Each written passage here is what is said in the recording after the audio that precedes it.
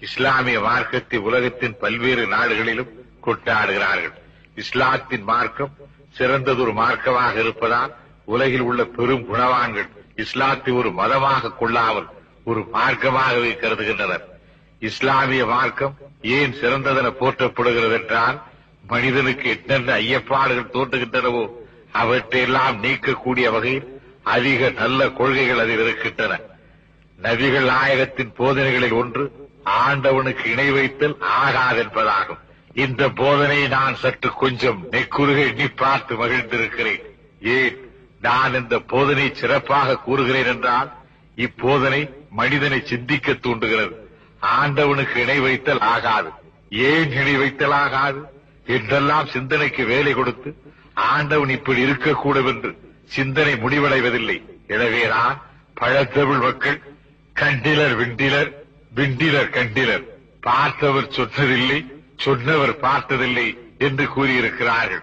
கடவுள் தன்மையின் தத்துவமே இதுதான். ஆண்டவனுக்கு இணை வைத்தால் ஆண்டவனுக்கு முன் ஒருவரை வைக்க வேண்டும். அந்த ஒருவர் யாராக இருக்க வேண்டும்?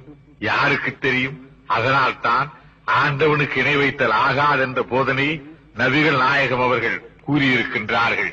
மற்ற மார்க்கத்தில் இணை வைத்து கூறிய காரணத்தால் தான் எங்களை போன்றவர்களுக்கு ஏராளமான ஆச்சரியங்கள் தோன்றின. இஸ்லாத்தில் எனக்கு மற்றும் ஒன்று பிடித்திருக்கிறது. அது மனிதனை மனிதனாக ஆக்குவது மனிதனை முழு மனிதனாக ஆக்குகிறது. இஸ்லாத்தில் இன்னொரு சிறப்பு இஸ்லாத்தில் யார் சேர்ந்தாலும் ஜாதியை மறைத்து விடுகிறது. முதுகுளத்தூர் ஒருவர் தலையை ஒருவர் சீவிக்கொள்ளும் தேவர் தாழ்த்தப்பட்ட மக்களானாலும் சரி மற்றும் எவரானாலும் சரி எவர் இஸ்லாத்தில் சேர்ந்தாலும் சரி ஜாதியை நீக்கி விடுகிறது இஸ்லாத்தின் கொள்கை. இதனால் அது என்னை மிகவும் ஈர்க்கக்கூடிய கொள்கையாக இருக்கிறது.